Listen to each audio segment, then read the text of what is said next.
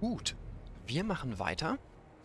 Ähm, ich hatte ja letztes Mal gesagt, dass ich dann ohne euch einmal zu dem Bauern zurücklaufe. Und ich dachte, dass das halt richtig, richtig lange dauern würde.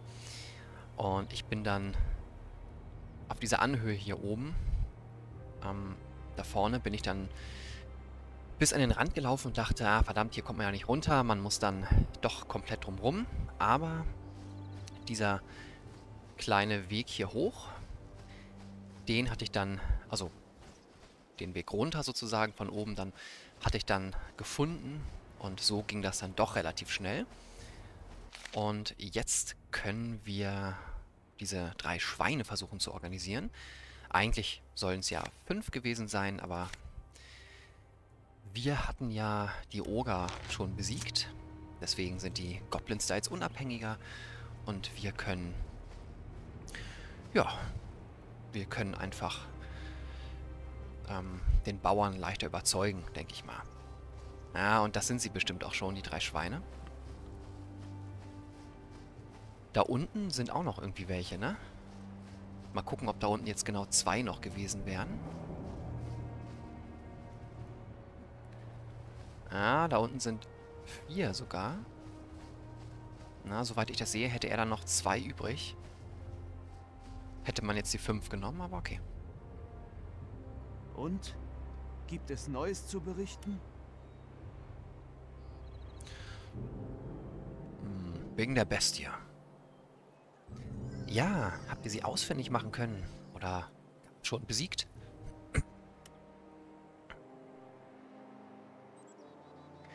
Ich habe die Höhle der Bestie entdeckt. Allerdings ist der Eingang eingestürzt. Die Steine und das Geröll müssten erst zur Seite geräumt werden. Verhext und zugenäht. Wären die vermissten Bauern schon wieder zurück, könnten sie uns bestimmt weiterhelfen. Ohne Helfer werden wir der Bestie wohl nicht zu Leibe rücken können. Hoffen wir, dass ihr meine Leute bald findet. Ja, das habe ich mir halt gedacht, dass das direkt zusammenhängt, ne? Aber ist ja okay. Und äh, wegen der vermissten Bauern. Ja? Habt ihr sie gefunden? Geht es ihnen gut? Einige Goblins haben sich in der Schlucht niedergelassen und eure Leute gefangen genommen. Sie wären bereit, sie im Tausch gegen drei Schweine freizulassen. Goblins, sagt ihr? Das hat ja gerade noch gefehlt. Wenigstens leben meine Leute noch. Meint ihr nicht, es wäre möglich, meine Leute mit Gewalt zu befreien? Ich wollte Verhandlungswillen nicht mit Blutvergießen bestrafen. Diese Region hat schon genug, genug Tod gesehen, findet ihr nicht? Da habt ihr sicher recht. Allerdings stellt der Verlust von weiteren drei Schweinen in meiner Lage ein schmerzliches Opfer dar. Das muss ich irgendwie ausgleichen. Seid ihr euch also im Klaren, dass dies eure Belohnung um 15 Dukaten schmälern würde? Dann könnt ihr die drei Schweine haben. Einverstanden? Ah, wir können sogar überreden. Ihr stellt euren Besitz vor das Wohl eurer Bauern und wollt mich dafür die Zeche zahlen lassen. Hm, normalerweise nehme ich immer irgendeine Option, wenn wir quasi würfeln können, aber... Hm, ja, wir sind bisher immer ziemlich großzügig gewesen und haben ja auch wieder ganz gut Geld gesammelt und wir haben uns ja auch schon satt gekauft erstmal vor einer Weile, ne? Also ich glaube, wenn es denen hier um ihr Überleben geht oder um die weitere Schweinezucht und das Überleben der Stadt und so weiter, dann kommt es darauf nun wirklich jetzt nicht an. Oder sogar gegen die Goblins kämpfen. Nee, nee. Auf die paar Dukaten kommt es mir nicht an. Ich bin einverstanden. Nehmt die Schweine gleich hinter mir.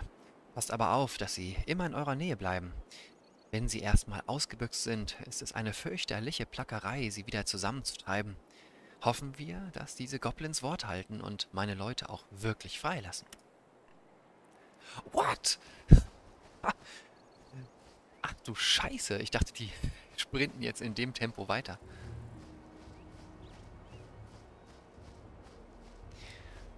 Erinnert mich so ein bisschen an... Äh, übergib die Schweine, okay. Erinnert mich so ein bisschen an... Äh, die eine Quest mit den... Bei den gefallenen Mauern Kurkums. Ich bin Amazone, keine Schweinehirtin. Wie geil.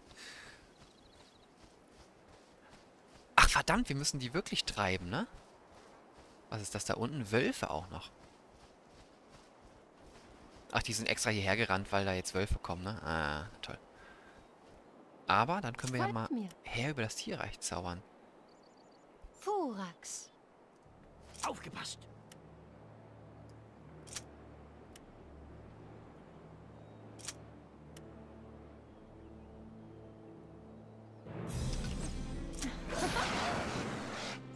Glaube, das wird jetzt nicht so wild werden.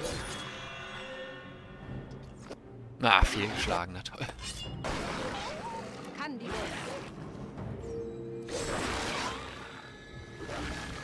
Genau, was ich sagen wollte. Das mit den Schweinen hier erinnert mich an die eine Quest von Witcher 3. Die Selektion. Ja, wie hieß denn die Quest nochmal? Ähm, die habe ich letztens erst im Let's Play auch nochmal gesehen. Beim guten Steinballen.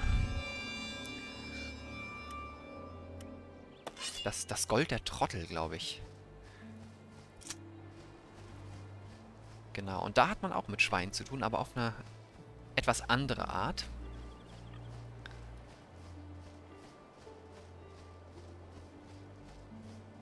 Und da muss ich auch sagen, das war eine der coolsten Schweine-Quests, die ich bisher irgendwo hatte. Gut, ehrlich gesagt, ich hatte jetzt fast noch nie irgendwo in irgendwelchen Spielen so Schweine-Quests. Aber das war auf jeden Fall die beste. Sula, Recht haben. Du wirklich gebracht, neue Herde. Du gehen zu ihr. Sie froh sein werden. Ich mich kümmern um Schweine. Ah, ich erinnere mich, es gab bei Gothic 3 noch so eine Quest, aber da musste man... Ähm, ich glaube, das war nur, dass die Rebellen wollten, dass man irgendwelche Schweine, irgendein Vieh, allgemein irgendein Vieh, ich glaube, es ging aber vor allem um die Milchkühe, die Vieh, das Vieh irgendwie ähm, von so einer Stadt killt, damit die Versorgung eingedämmt wird. Aber dazu kommen wir dann noch. Später im dritten Teil. Äh, ich glaube, während diese, diese Folge hier jetzt rauskommt, habe ich schon den zweiten Teil einige Folgen angefangen. Also, nicht also habe ich sowieso schon, aber äh, also so, nur so vom äh, Upload-Datum her. Genau. Und dann dauert der zweite Teil natürlich noch ziemlich, ziemlich lange, mit Add-on vor allem. Und dann kommt natürlich der dritte nach meinem Plan. Okay. So, sprich mit Tresha Sula. Na klar. Du bringen Schweine. Großes Jäger dich segnen. Komm wieder, bald. Trisha Sula sagen. Balafred Kai, dir trauen soll. Aber wenn falsch bewegen, du tot. Okay, das kannten wir schon.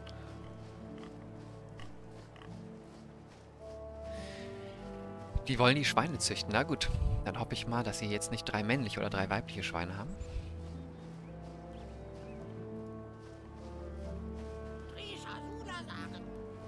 Okay. Ah, du sein zurück? Du Schweine mitgebracht? Ja, Fescher Sula. Aber wirst du auch deinen Teil der Abmachung erfüllen? Meinem Rekdai recht gehabt. Wirklich haben Überleben von Sippe gerettet. Andere Menschlinge jetzt seien frei. Wie, gut wie sie gut behandelt. Mutter und Jäger dich segnen.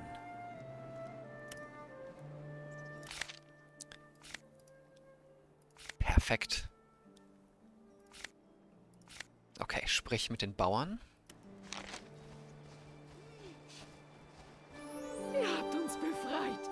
Können wir euch das jemals danken? Gut, wie es ihnen geht, hatten wir schon gefragt. Ihr könntet mir helfen, meinen verschütteten Höhleneingang freizulegen. Wenn am Rattelshof noch das ein oder andere Pferd lebt und nicht all unser Werkzeug beim Brand zerstört wurde, sollte das kein Problem sein. Wir kehren jetzt erst einmal zum Rattelshof zurück, damit die Leute dort sich keine Sorgen mehr um uns machen.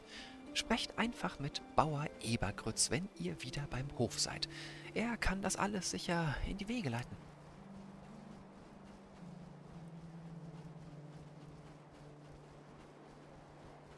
Ah, okay. Das ist dieses, die klassische Entscheidung, ob die uns da quasi gleich hin teleportieren. Ja, wir haben ja hier nichts mehr zu tun, ne? Also. In Ordnung. Ich komme am besten gleich mit euch mit.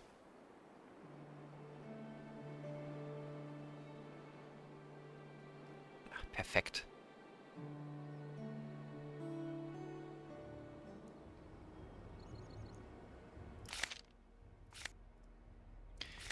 Kehre zu Ebergrütz zurück.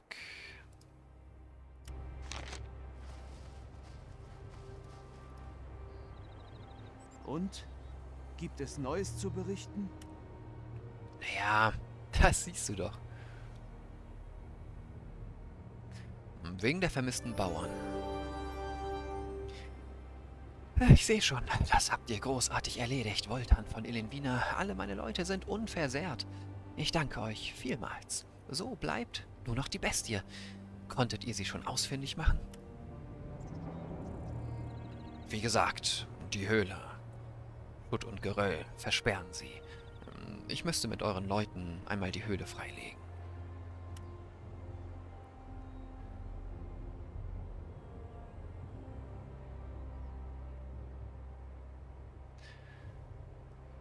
Ja gut, okay, wir, wir haben offensichtlich noch gesagt, dass sie einfach nur so verschüttet da drin sein könnte und naja.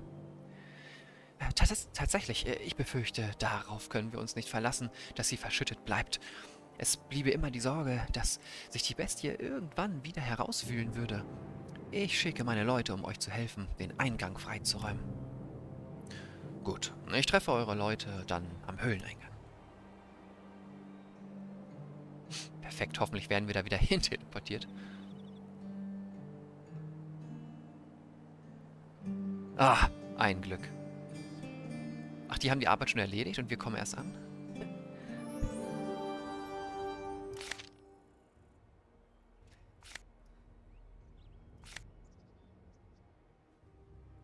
Stelle die Bestie.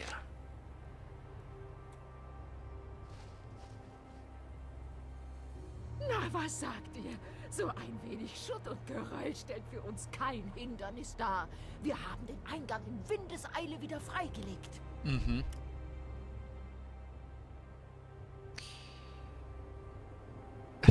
ja, ja, ganz toll. Okay, so blöd benehmen wir uns natürlich nicht. Sehr gute Arbeit. Ich danke euch. Das ist doch das Mindeste, was wir tun konnten. Wenn ihr die Bestie erledigen wollt, müsst ihr euch aber beeilen. Der große Krieger Parzalon von Streizig wird euch sonst zuvorkommen. Kaum hatten wir den letzten größeren Felsen beseitigt, da zwang er sich schon durch das Loch und war verschwunden. Was für ein Held. Parzalon ist schon vorausgegangen? Ganz großartig.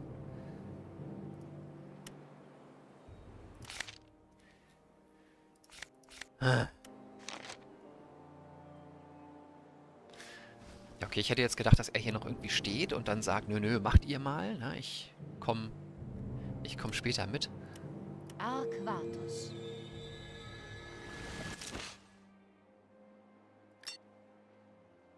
Oh, Duplikatus kostet richtig viel.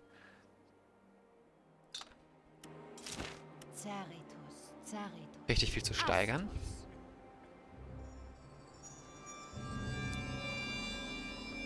Ah, so ein paar Sekunden. Na toll. Stinkende Höhle. Ja, ist ein bisschen komisch, ne? Ich meine, wir wären ja mit ihnen gegangen, wir hätten mitgeholfen, dann hätten wir ja selber gesehen, dass der da irgendwie gleich reinschlüpft. Also, wir hätten ja direkt reagieren können. Das ist mal wieder ein bisschen speziell gemacht hier. So, so langsam.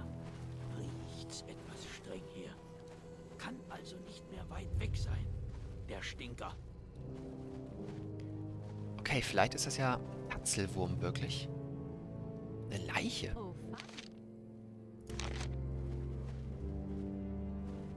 Was, wer kämpft da hinten?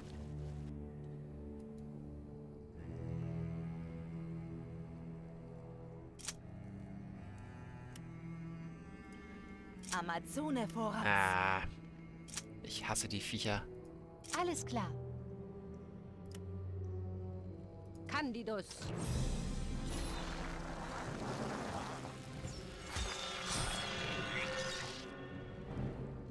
Ja, na toll.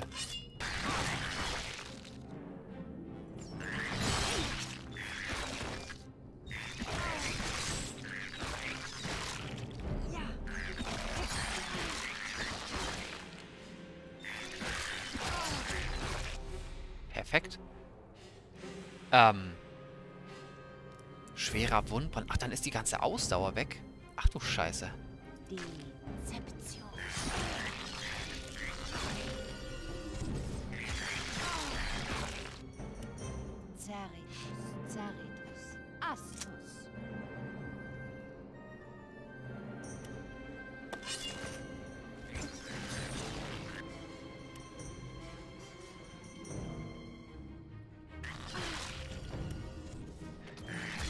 Ah, okay. Sie schafft es. Ja, sie schafft es, glaube ich, ne?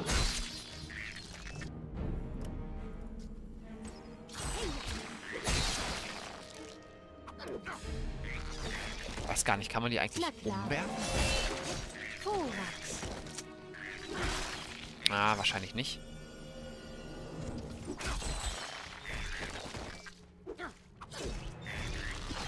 Naja, sie hat ja eh minus 4 AT.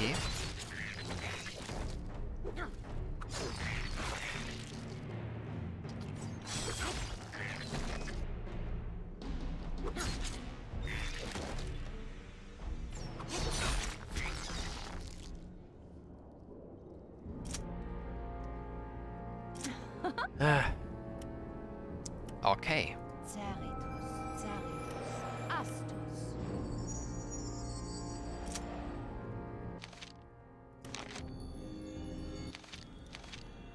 Ja, ich weiß gar nicht. Alchemie? Dafür Alchemie braucht man die gar nicht, ne? Ich nehme die Sache in die Hand. Ich weiß gar nicht mehr, was die hier bei sich haben.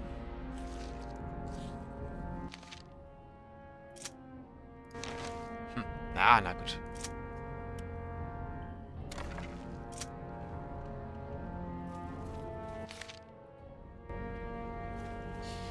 Ja, ich weiß jetzt aber nicht, ob da noch ein anderer Weg Na war. klar. Candidus.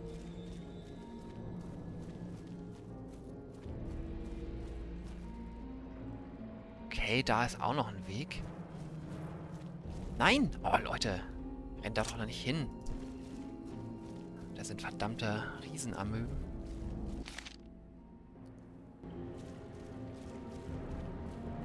Das ist immer blöd, man weiß immer nicht, ob das einfach nur so... Moment, ach, da ist schon eine Tote.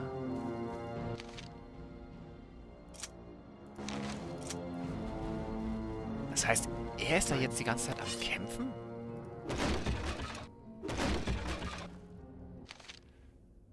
Okay, das brauchen wir nicht.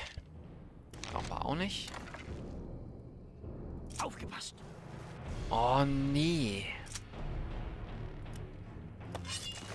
Gute Entscheidung. Ein Zwerg, ein Bock. Ich versuche mein Bestes. Ach, die haben selber schon fauliger Gestank, okay.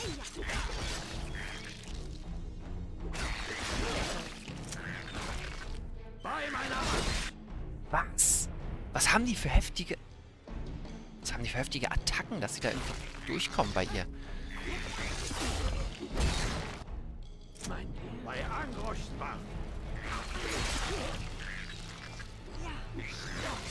Amazone voraus.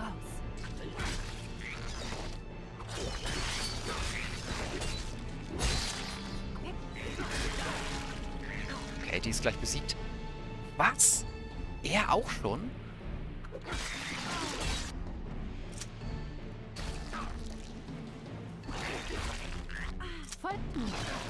Alter, wie krass ist das?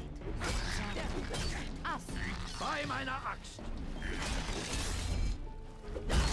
What? Die sind gleich besiegt. Ich mach das schon.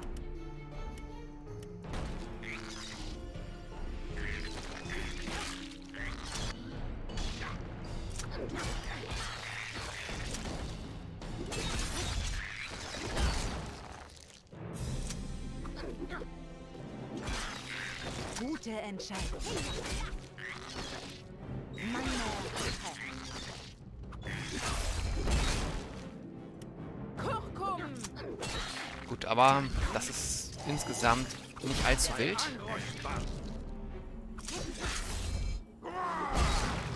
Oh, das war ein guter Schlag. Das bin ich. Okay, dann erstmal die ganze blöde Vergiftung hier weg.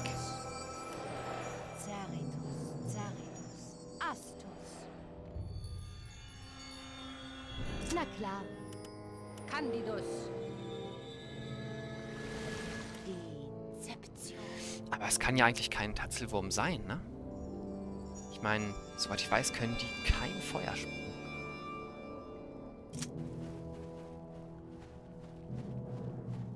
So, looten, da habe ich jetzt keinen Bock drauf. Na klar.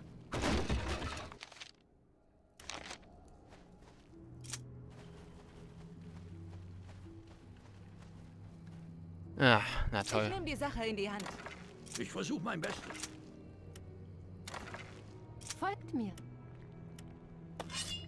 Alles klar. Amazone voraus. Ach so, ach, Ich nehme die Sache in die Hand. die ist schon besiegt, verstehe. Mir.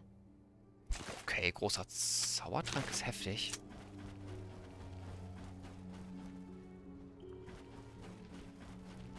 Ah, nochmal, ey, das ist... Das ist so nervig. Gute Entscheidung. Das bin ich.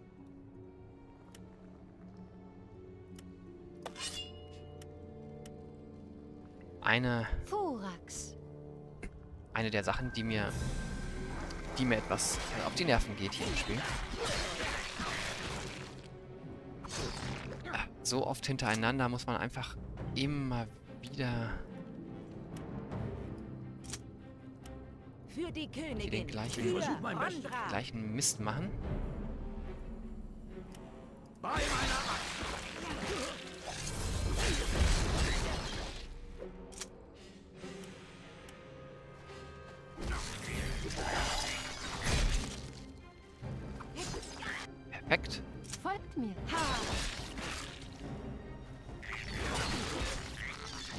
weiß noch bei Drakensang 2, diese Sache mit den, den Ritzenkrabben, die man oft nicht geschafft hat, Na klar.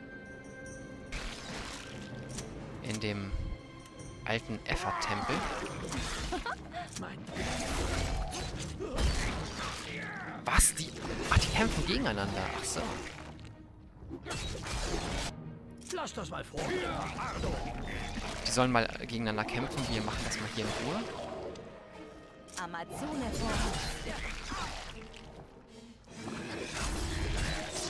Ah, diese Kämpfe halten einen zu lange auf.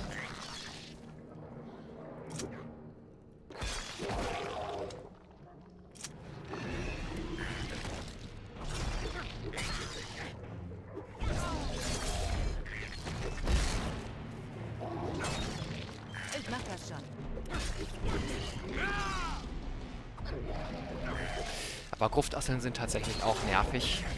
So im normalen Spiel. Also. Die haben halt eine krasse Panzerung. Ach, die hat ja schon drei äh, Wunden.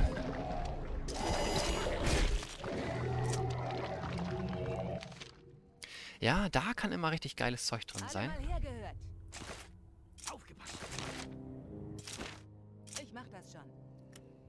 So, einen großen hatte sie noch nicht. Alles klar. Cerritus, Cerritus, Astus, Arquatus, Deception. Arquatus.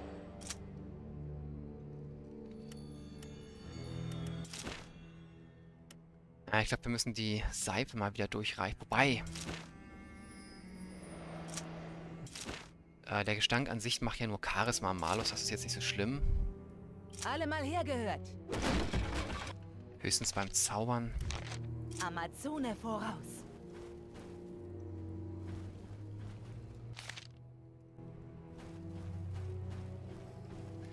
Ja, Mann, ich würde diese ganzen anderen Gänge eigentlich gerne erforschen. Moment, ach nee, hier ist gar kein Gang, ne? Hier haben wir noch was vergessen. Ja, sammelst du bitte ein?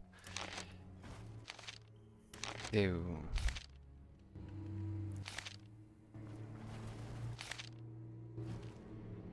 Oder doch, ist das hier der... Doch, hier ist noch ein Gang. Tatsächlich.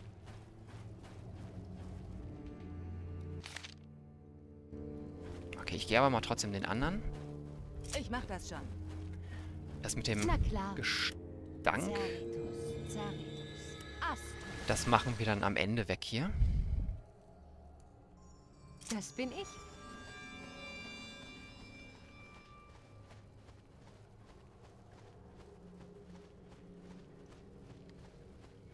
So, ja, normalerweise würde ich jetzt ein bisschen Überlänge hier machen. Um, in, also in der Hoffnung, dass wir das hier alles noch durchschaffen. In einer Folge. Ähm, ah, hier ist eh zu Ende, okay.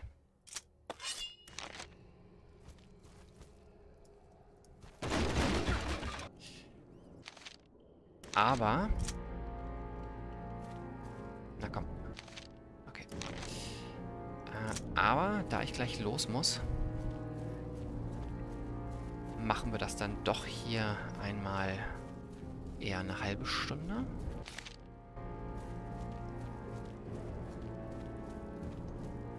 Passt vielleicht auch mal gut. Wie ich gesehen habe, sind die letzten Folgen ja doch eher alle etwas länger oder sogar mit Überlänge. Da hinten sehe ich schon Gruftasseln, okay. Gut, dann können wir die ja nächstes Mal tatsächlich auch Alle anschießen. mal hergehört. Ich versuche mein Bestes. Leider sind die immer sehr schnell da. Ich erneuere nochmal den Zauber. Na, 77 Sekunden, okay. Gut. Dann machen wir mal an der Stelle hier den Cut. Eine normal kurze Folge. Und dann bin ich mal immer noch wirklich sehr gespannt, was hier am Ende die Bestie ist. Weil wie gesagt, Tatzelwürmer können ja nicht, nicht wirklich Feuer spucken, ne? Die stinken halt nur. Und es haben doch auch Leute schon erzählt, dass da irgendeine Bestie oder sogar geflügelte Bestie, auf jeden Fall, dass da irgendeine Bestie von oben gekommen ist.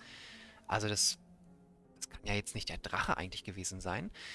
Ich meine, man denkt halt, das ist auf jeden Fall der Drache. Vielleicht führt einen das Spiel auch irgendwie auf eine falsche Fährte und das ist irgendwie... Ähm, ich glaube, wir hatten doch einmal mit Rechtsklick geschaut bei dem Geröll, ähm, was da steht. Und da stand doch irgendwas, die Höhle der, der Nachtbestie oder Nachtkreatur oder so. Also das war eventuell schon so ein Hinweis. Also Drache vielleicht dann eher nicht. Na gut, wir werden es sehen. Ich bleibe sehr gespannt, da ich das wirklich alles vergessen habe von damals. Ja, und dann bis zum nächsten Mal. Bis denn.